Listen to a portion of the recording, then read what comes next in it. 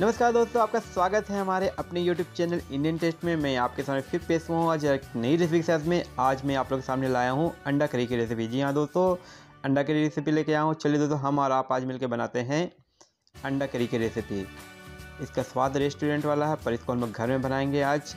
बिना लेट करते हुए चलिए हम लोग अंडा करी की रेसिपी बनाने का प्रोसेस शुरू करते हैं। इसके लिए दोस्तों, देख सकते हैं कि चार बॉयल किए हुए अंडे ले लिए। आप लोग अपने आवश्यकता अनुसार कम और ज़्यादा कर सकते हैं इसे। ठीक है? अब इन अंडों में हम लोग नाइफ की सहायता से कट का निशान लगाएँगे इस प्रकार से अंदर तक लिए, ताकि मसाला का फ्लेवर बिल्कुल अंडों के अंदर तक ले जाएगा। और इसलिए भी कट का निशान लगाया जाता है, ताकि जब हम लोग इसे फ्राई करते हैं अंडों को, तब ये फटने का डर कम रहता है। ठीक है दोस्तों? इस प्रकार से देखिए, चारों अंडों हमने कट का निशान लगा दिया है। अब इसमें कुछ मसाले हम लोग डाल देंगे।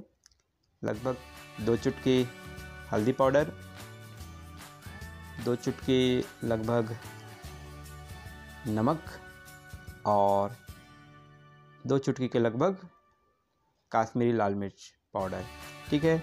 इसको इस प्रकार से हम लोग अंडों के ऊपर कोट कर देंगे, चम्मच के साथ चला देंगे। अब चलिए दोस्तों, इसको हम फ्राई करते हैं। फ्राई करने के लिए हम लोग पैन में हम लोग दो चम्मच ऑयल डाल देंगे और जब ऑयल गर्म हो जाएगा, तब इस प्रकार से हम लोग अंडों को डाल देंगे और लगातार बिल्कुल इस प्रकार से चलाते जाएँगे ताकि अंडा हर चारों ओर से फ्राई हो जाए। ये देखिए दोस्तों, दो से तीन मिनट में ही हमारे अंडे फ्राई हो गए हैं।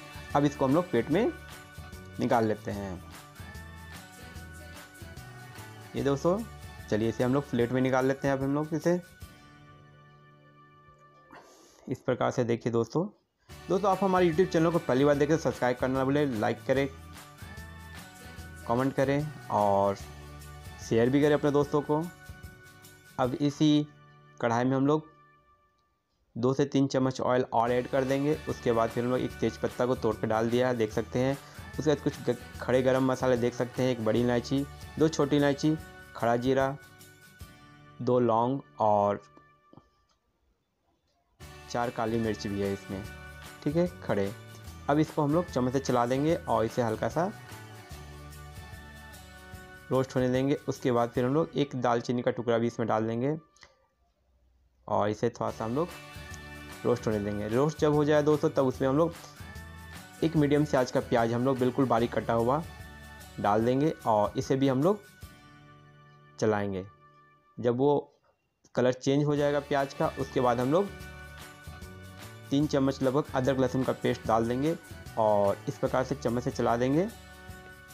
चलाने के बाद इसे हम लोग तीन से चार मिनट के लिए इसे इस प्रकार से ढक कर रख देंगे। देख सकते हैं जैसे कि तीन से चार मिनट हो चुका है। अब चलिए हम लोग ढक्कन हटा करके फिर से मसालों को चला देते हैं। ये हमारा फ्राई हो चुका था। अब चलिए, अब इसमें हम लोग एक बड़े साइज़ का टमाटर की प्योरी बना के इसमें हम लोग डाल दिए हैं। आप इसमें कुछ मसाला भी ऐड कर देंगे।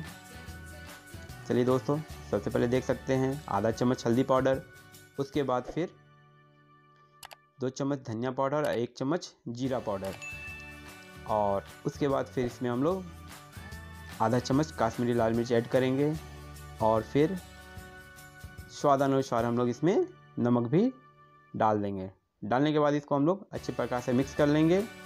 और मिक्स करने के बाद में फिर इस प्रकार से हमने तीन से चार हरे मिर्च को काट के डाल दिया है। और चम्मच से चलाने के बाद में इसे फिर हम लोग ढक देंगे पाँच मिनट तक लिए बिल्कुल लो फ्लेम पर बिल्कुल हम लोग इस प्रकार से पकने देंगे। बीच बीच में इसे आप चाहे तो चेक कर सकते हैं, चला करके कि ये कढ़ाई पे ना चिपक रहा हो।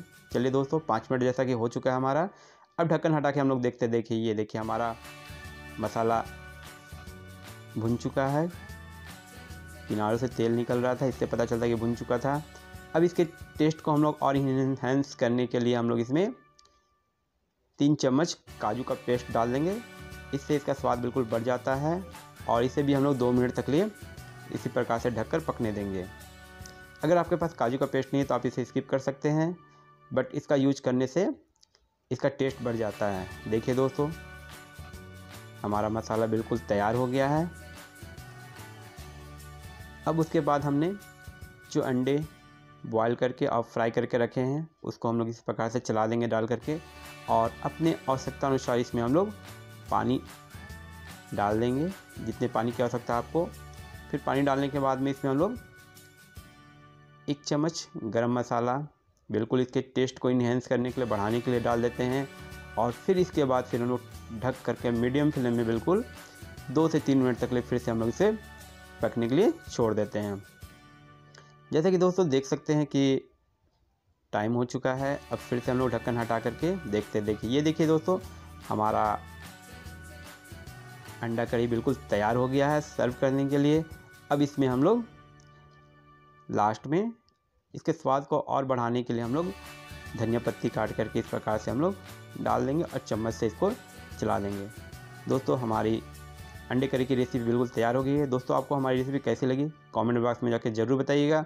और आपने जब बनाया तो आपको हम, आपकी रेसिपी कैसी बनी, वो भी ज़रूर बताइएगा। हमारे चैनल को सब्सक्राइब करना ना भूलें लाइक करें कमेंट करें शेयर करें दोस्तों। चलिए अब हम लोग इसे सर्व करते हैं। ये देखिए दोस्तों, तैयार हो गया हमारा अंडे करी की रेसिपी अब चलिए इसको हम लोग थोड़ा हरी धनिया पत्ती के साथ में इसी की गार्निशिंग कर लेते हैं। तो तो फिर हम लोग नेक्स्ट वीडियो मिलेंगे किसी नई रेसिपी के साथ में। तब तक लिए नमस्कार।